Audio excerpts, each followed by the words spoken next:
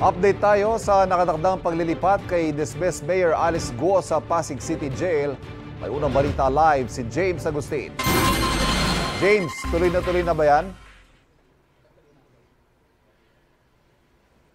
Ivan, hindi pa masabi ngayon ang tagapagsalita ng Philippine National Police na si Police Colonel Jean Fajardo kung anong oras posibleng ilipat itong si Alice Guo sa Pasig City Jail Female Dormitory. At nakaantabay pa rin tayo dito sa labas ng PNP Custodial Center kung saan nga nakapit itong si Guo.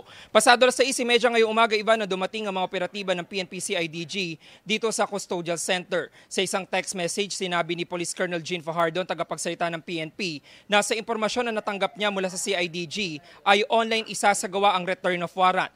Yan ay para sa kasong qualified human trafficking na kinakaharap ni Guo sa Pasig Regional Trial Court. Inaasahan din ang posibleng paglilipat kay Guo sa Pasig City Jail female dormitory alinsunod na rin sa utos ng korte sa Pasig.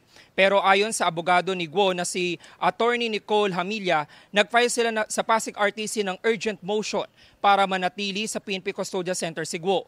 Kaligtasan at seguridad daw ang kanilang konsiderasyon. Umaasa naman sila na mapagbibigyan ito ng korte. Sabi ni Colonel Fajardo, sasailalim muna sa medical examination Sigwo bago ilipat sa Pasig. Hindi pa masabi kung anong oras yan.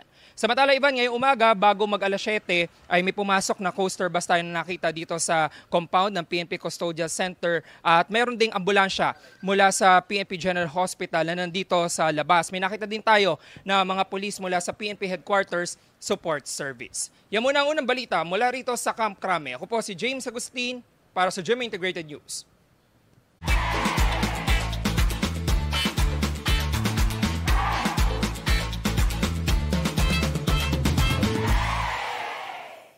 Kapuso, para laging una ka sa mga balita, bisitahin at mag-subscribe sa GMA Integrated News sa YouTube. Sa mga kapuso abroad, samahan nyo kami sa GMA Pinoy TV at sa www.gmanews.tv.